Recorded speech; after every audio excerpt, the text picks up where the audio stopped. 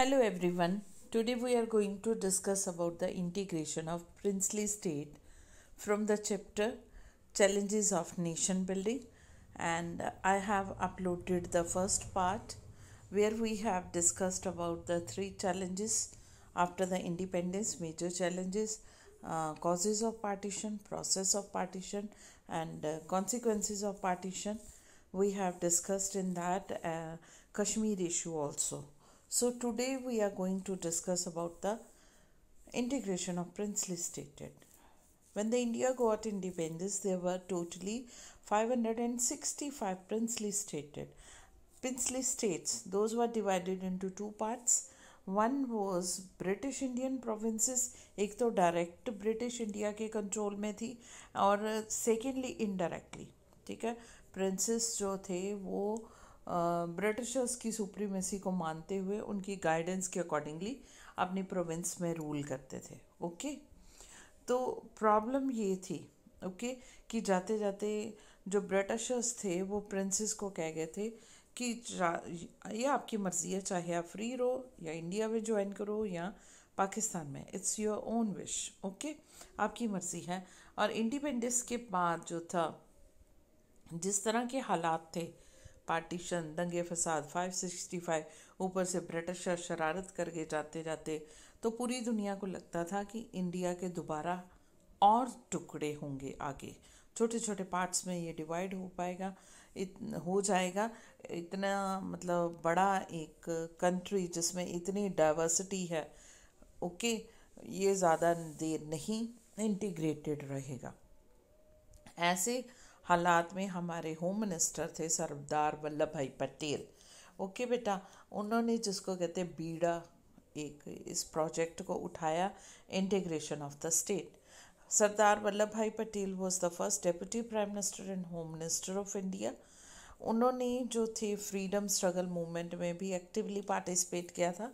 Leader थे इन्होंने खेड़ा सत्याग्रह movement Gujarat में 1918 में और Bardoli satyagraha movement 19 twenty eight में ये बहुत सक्सेसफुली किसानों के फेवर में जीते थे और इसीलिए वहीं से इनको सरदार की उपाधि या टाइटल मिला था।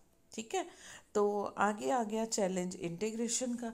इन्होंने पूरा चैलेंज ये था, उठाया, अपने हाथों में लिया।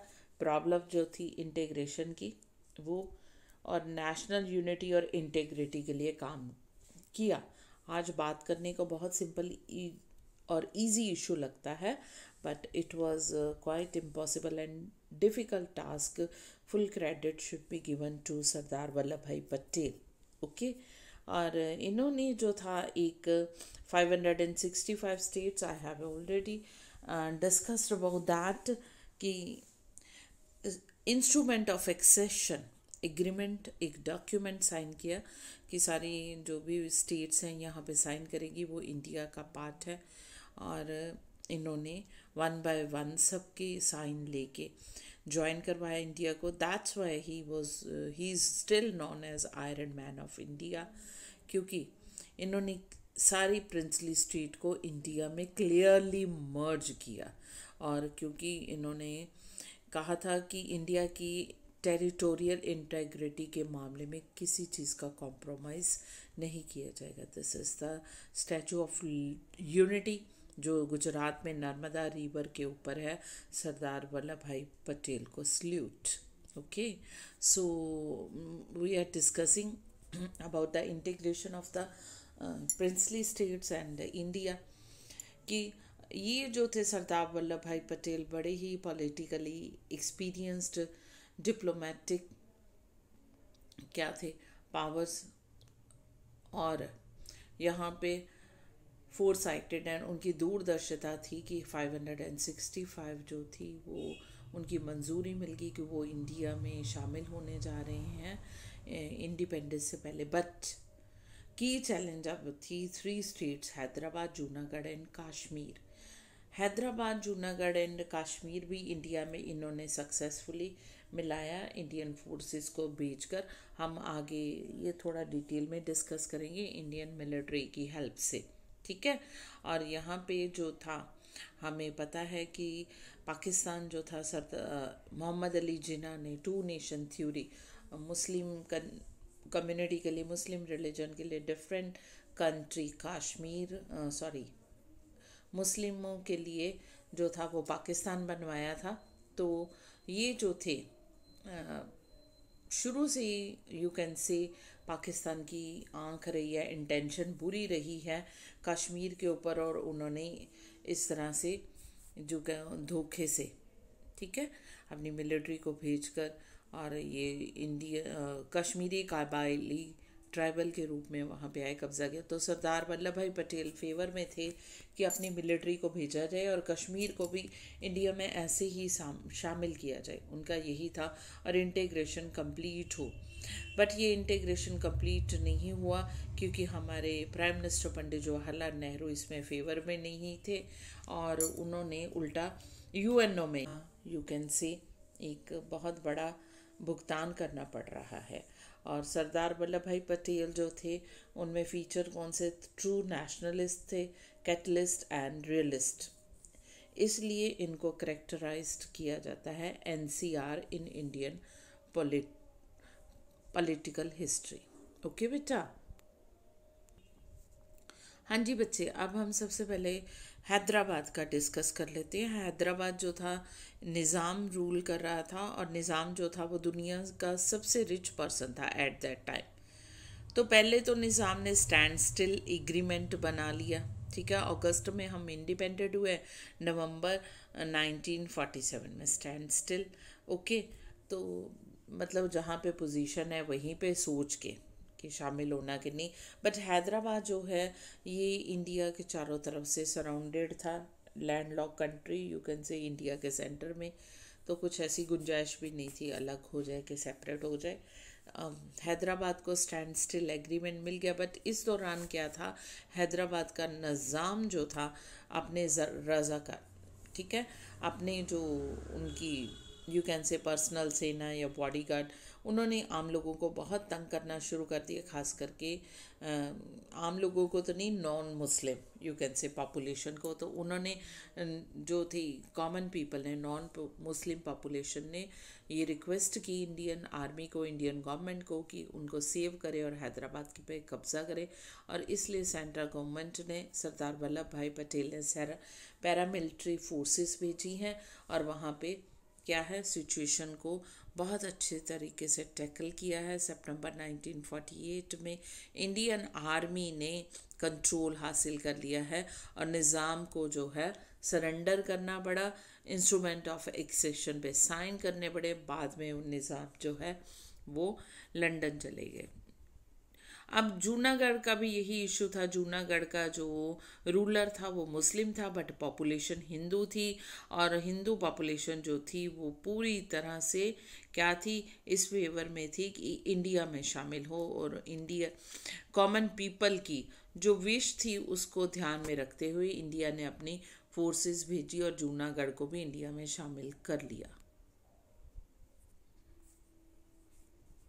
पॉलिटिकल हम लोग डिस्कस कर चुके हैं यहाँ पे ओके कि इंटेग्रेशन हो गया है। अब यहाँ पे स्टेट को इंडिया को रीशेप करना था इंटरनल बाउंड्री तो इंडिया जो था, अब यहाँ पे लैंग्वेज के हिसाब से स्टेट रीऑर्गेनाइजेशन हुआ यहाँ पे। इंडिपेंडेंस से पहले तो हमने बहुत सपने देखे थे कि कोई तानाशाही नहीं, सब अपने अपनी स्टेट भी इंडिपेंडेंटली काम करेंगी। और उनको पूरी पावर और इक्वल पावर्स दी जाएँगी। फेडरलिज्म टोटली होगा। Federalism means division of power between centre state and local level और रीजनल गवर्नमेंट्स बट इंडिया का पार्टीशन हो गया इंडिपेंडेंस जो हमें मिली पार्टीशन की तो हम डर गए। ठीक है? कि आगे फिर पूरी दुनिया वैसे ही कह रही थी कि आगे पार्टीशन होगा, आगे पार्टीशन होगा। इसी वजह से अब जो था, जैसे हमने नागपुर के सेशन में 1920 में स्टेट रीऑर्गेनाइजेशन कमीशन हमारी इंडियन नेशनल कांग्रेस पार्टी ने यही कहा था कि हम जब इंडिपेंडेंट होंगे तो स्टेट्स जो हैं लैंग्वेज के अकॉर्डिंगली बनाएँगे। बट मैंने बोला ना इंडिपेंडेंस के बाद साथ ही पार्टीशन हो गया और कंट्री बट गया धर्म के नाम पे। इसी वजह से हमने ये आइडिया जो था स्टेट को रीशेप करने का लैंग्वेज के अकॉर्डिंगली डिवाइड करने का पोस्टपोन कर दिया। जब हमने पोस्टपोन कर दिया कि अभी नहीं करेंगे तो साउथ इंडिया में विशाल आंध्रा मूवमेंट जो थी वो स्टार्ट होगी। विशाल आंध्रा मीन सेपरेट आंध्र प्रदेश, जो पुरानी प्रोविंस थी मद्रास, ठीक है? ये केरला, तमिलनाडु हैदराबाद, कर्नाटका सबको मिल के थी। वहाँ से अलग उन्हें आंध्र प्रदेश चाहिए था। पोटू श्री मुल्लू जो थे, वो लीडर थे। Although he was a Congress veteran Congress leader but उन्होंने अपने स्टेट की डिमांड के लिए हंगर स्ट्राइक पर चले गए। और देखिए, कितने दुख की बात है कि वो 56 डेज़ तक हंगर स्ट्राइक पे रहे हैं फास्ट पे रहे हैं, और गवर्नमेंट ने कोई ध्यान नहीं दिया। और इसी वजह से उनकी डेथ होगी। जब डेथ होगी तो अनरेस्ट प्रोटेस्ट वायलेंस डेमोन्स्ट्रेशन इतने मैसिव स्केल पे हुए कि गवर्नमेंट ने फटाफट डर के आंध्र प्रदेश सेपरेट स्टेट को फॉर्मेशन हो गई है। प्राइम मिनिस्टर ने अनाउंस कर दिया हरेडली सेपरेट आंध्रा स्टेट दिसंबर 1952 में। ये बन गई है स्टेट। इसके बाद गवर्नमेंट ने अपॉइंट किया है स्टेट रीऑर्गेनाइजेशन कमीशन इन 1953 जो कि स्टेट रीऑर्गेनाइजेशन कमीशन वो बाउंड्रीज ड्रा करेगा न्यू स्टेट्स की जो लैंग्वेज के अकॉर्डिंगली ठीक है? कमीशन ने जो है रिपोर्ट दी जो एक्सेप्ट की गई कि boundary of the state should be reflect the boundary of different languages okay language के अकॉर्डिंगली स्टेट बने और बाउंड्री से रिफ्लेक्ट हो हर स्टेट की लैंग्वेज और हर स्टेट और ये जो था बेस स्टेट रीऑर्गेनाइजेशन कमीशन का, और ये जो था कि यहाँ पे एक्ट पास हुआ स्टेट रीऑर्गेनाइजेशन कमीशन कब बना? 1953 में और स्टेट रीऑर्गेनाइजेशन एक्ट पास हो गया 1956 में। और यहाँ पे जो है 14 स्टेट बनी और सिक्स यूनियन टेरेटरीज 1956 के बाद। अब जो है इंडिया की आपको पता ही है 28 स्टेट्स हैं और 8 यूनियन टेरेटरी हैं।